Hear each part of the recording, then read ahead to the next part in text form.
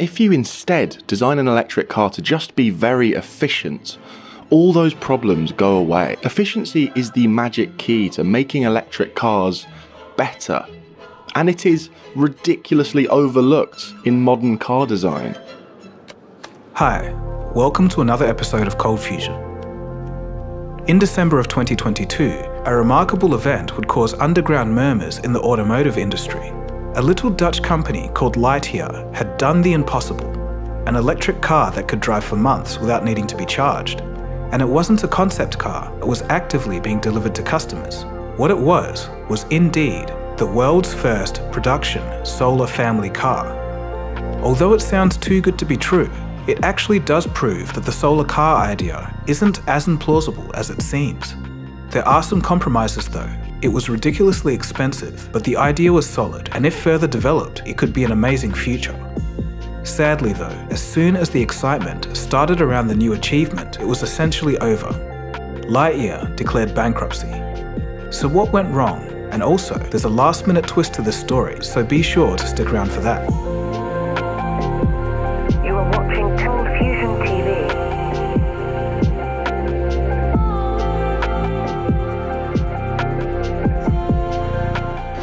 Solar powered cars largely remain a distant dream despite numerous technological advancements. The concept is fascinating. The idea of having a virtually infinite power source that doesn't cost anything to fuel. However, the industry still faces hurdles. Overall, solar panels aren't very efficient. At their maximum, consumer solar panels can get up to about 22% efficiency, but they're also heavy and relatively expensive. Solar film, on the other hand, is a lot cheaper and lighter, but it's less efficient, usually below 15%. And this becomes a great engineering challenge, finding the balance between efficiency, cost, and weight. Moreover, these cars must absolutely sip power in order to be viable. Despite these obstacles, promising designs are moving closer to the mainstream with each passing year, and there was one company that stood above them all.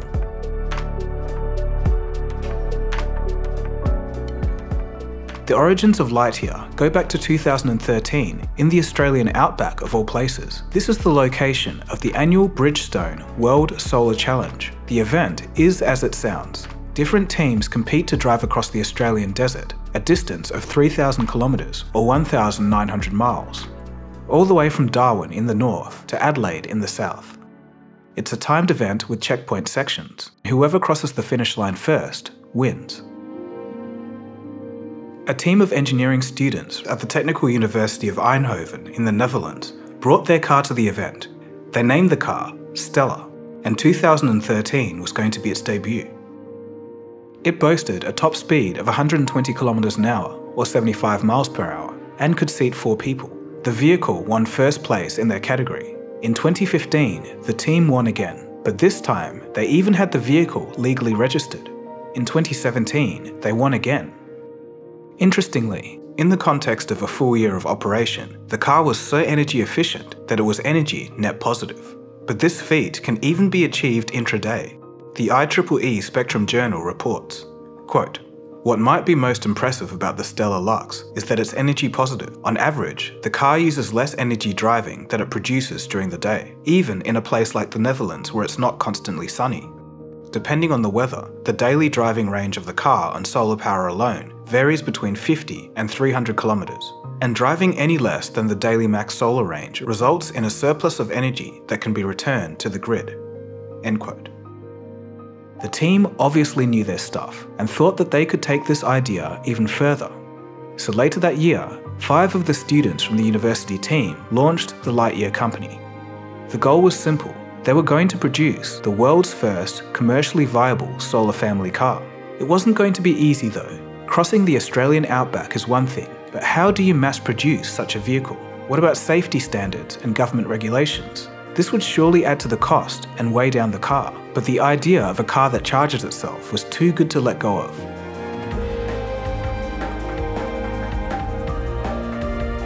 The car, now dubbed the Lightyear Zero, was announced in mid 2019 and started production in 2021. After raising $110 million in funding, they began selling in early 2022. If you live in a sunny city environment and only drive for short periods, it could be a great fit. And that's what thousands of people thought when they dropped 296,000 US dollars on the car. It was going to be available in the EU, Switzerland, Norway, and the even not so sunny UK. Here's a clip from the YouTube channel The Fully Charged Show showing the car in operation. Right, we are out on the road in the very nearly production ready Lightyear Zero. This is a bit surreal. This has been a long time coming, this moment. I think my first impression is that I'm very aware that I'm driving a really, really efficient car because the car is making sure that I'm aware of that fact. On this screen in the middle here, I can see exactly what my solar panels are doing. There's no point building a hyper efficient car if you're not going to then encourage people to treat it properly and drive it properly. And this car very obviously wants to be driven in an efficient way. Now, some of our less technically inclined viewers may be wondering why are Lightyear so obsessed with efficiency? Well, currently, the popular method for giving an electric car big range is by giving it a really big battery. But doing so has negative knock on effects on cost, weight, and about a million other things. But if you instead design an electric car to just be very efficient, all those problems go away. An efficient EV can make do with a smaller battery, which makes it cheaper to buy, cheaper to run, lighter, better to drive, quicker to charge, and ultimately kinder to the planet, to name just a few of the benefits. Put simply, efficiency is the magic key to making electric cars better. And it is ridiculously overlooked in modern car design. The Lightyear Zero is a sleek and somewhat futuristic looking sedan. It incorporates 5 square meters of solar panels into the body, and this all feeds into a 61.2 kilowatt hour battery capable of a range of 625 kilometers or 388 miles. The power output of the car is 130 kilowatts. The Lightyear Zero is covered in a 1000 solar panels. Under ideal conditions, the solar panels covering the hood and the fastback roof can chip in up to 1.05 kilowatts of constant trickle charging. In essence, it's a plug-in solar hybrid some cities can have over 150 days of sunshine per year. City driving in these locations could see you drive 60 kilometers per day just from the sun alone. Effectively, for certain periods of the year, you'd never have to charge the car. Sure, 60 kilometers isn't a massive distance, but I still think that's pretty cool. But because the car is so efficient, the performance is, well, emaciated.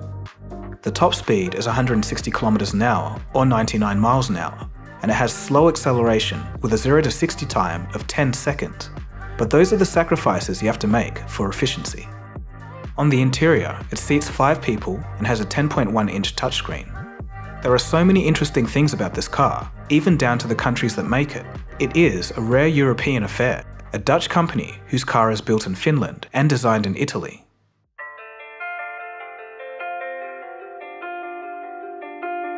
Overall, things were looking good for the Lightyear company, and they were in pole position for a revolution. But in January 2023, there was a shock announcement. Lightyear announced that they were halting the production of the Zero model and redirecting their efforts towards the production of the Lightyear 2. The Lightyear 2 is a more affordable version of their vision. Atlas Technologies, the subsidiary that was responsible for the manufacturing of the Lightyear Zero, would be allowed to go bankrupt. There was expected to be 600 job losses. Nobody actually knew much about the Lightyear 2, and the bankruptcy of the manufacturing contractor was a huge shock to the community. Was the dream over so quickly? What happened? The reasons for bankruptcy aren't clear just yet, but ultimately, turning an experimental vehicle into a mass market product was either A. more difficult, or B. more expensive than originally estimated. There were plenty of overhead costs designing, tooling, manufacturing, testing, paying staff, and you name it. That's a lot of costs. And the money coming in was only pre orders and external investors. But soon, the investment would dry up. We can't ignore the economic timing. As 2022 started to wrap up, Lightyear was walking into an economic storm that would take down their business. In 2020, fearing deflation from COVID lockdowns, central banks panicked and drove interest rates to zero and printed money. Obviously, prices started rising as a consequence. To combat this, central banks started raising interest rates sharply, starting in the middle of 2022. Rising interest rates made investment funds harder to come by, the very same funds that a capitally intensive startup like Lightyear needed to function. Add to this supply chain disruptions from the war in Ukraine, also driving up material costs. Ultimately, this all proved too much for Lightyear, and they bowed out. The Lightyear story isn't over just yet, but before we get back to them, let's explore some of the other recent solar car efforts. Lightyear weren't the only ones to suffer this fate too.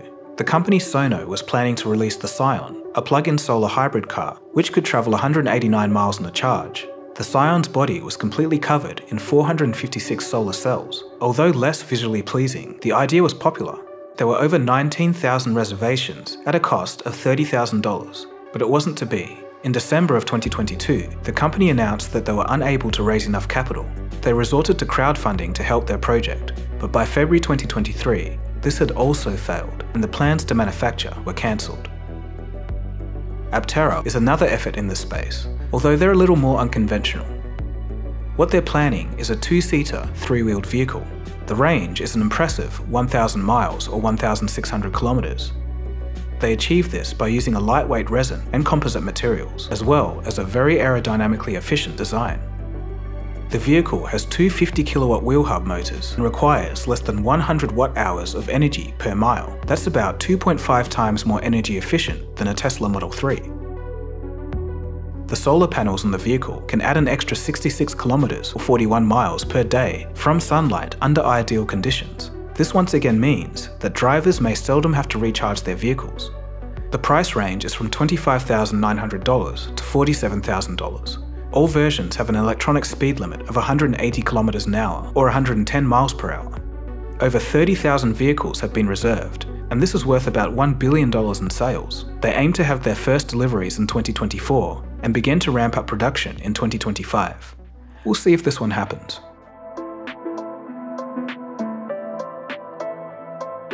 So, a last minute twist to this story. Instead of packing up and going home, Lightyear are going to give it another go they're back in business. The Lightyear company is in the process of restructuring their assets. The new arrangement will be a trimmed down version of their company that focuses strictly on the more affordable Lightyear 2. In the deal, Lightyear will form a new company and put up their intellectual property as collateral. If the company fails again, investors can walk away with this IP and use it within another company that they think is better managed. The Lightyear 2 is said to be releasing in 2025 for 40,000 US dollars, the company has 21,000 pre-orders, but the thing is, this low price is not a guarantee. Supply chain issues may affect the costs of raw materials, but it's still going to be cheaper than the original model according to the CEO. So how is it so much cheaper? Well again, according to their CEO, the Lightyear Zero costs so much because it was designed for a limited production, and a lot of elements for the production process were custom made. The team is bringing the technology learned from the Lightyear Zero down to the Lightyear 2 but this doesn't fully explain it for me. So I think perhaps they've also cut down operation costs and moved the manufacturing out of Europe. Ultimately, it's a bit of a question mark and it remains to be seen for me. Surprisingly, the Lightyear 2 is a bigger car, being more of an SUV platform. Lightyear co-founder Lex Hoefsloot speaks, quote, This is great news. All involved worked relentlessly to secure the continuation of our mission. We kept the interests of all stakeholders at heart during the process, we realised that the impact on our employees, investors, clients, and suppliers is significant, but we tried to find the best way forward for everyone. End quote. It's high stakes for the company because the lenders may have the right to seize and sell off IP assets if there are more money problems. If this happens, the Lightyear team will be done for good. So in conclusion, these cars don't solve every problem facing the advancement of solar powered travel, they are not some miracle, but they do act as a proof of concept, and I think it's a fantastic step in the right direction. The engineering team behind Lightyear have proved themselves by winning multiple solar competitions. But as we've seen, to mass produce these cars is challenging. I honestly admire the effort, and I think it's so cool that engineers are daring to do something that's so difficult. It's clear to see that as solar technology improves, we'll be seeing it more and more. In fact, Toyota's new Prius has a solar panel on the roof that can add up to 4 miles of charge per day. I'm wishing the Lightyear team all the best, and even if they don't make it in the solar automotive industry, I hope someone else does. With a little more time, the solar powered revolution could just be around the corner. So I'll pose the question to you. If you could pick up a solar car for around 30,000 US dollars, and you can get an extra 50 kilometers of range or 30 miles of range per day just from the sun, but it happened to be pretty slow, would you get one? I'll be interested to know your thoughts. Some quick housekeeping before I wrap this video up. My second episode, in collaboration with the Australian Broadcasting Corporation, is live. In it, I explore the intersection of AI and education, and is it still worth getting a university degree in the coming age of AI? It's an interesting topic, so I'll leave a link down in the description below. And a huge thank you to those of you who commented on the last episode. Seeing all of your positive reactions makes everything worth it. So thank you. Alright, so that's about it from me. My name is Dagogo, and you've been watching Cold Fusion, and I'll catch you again soon for the next episode. Cheers, guys. Have a good one.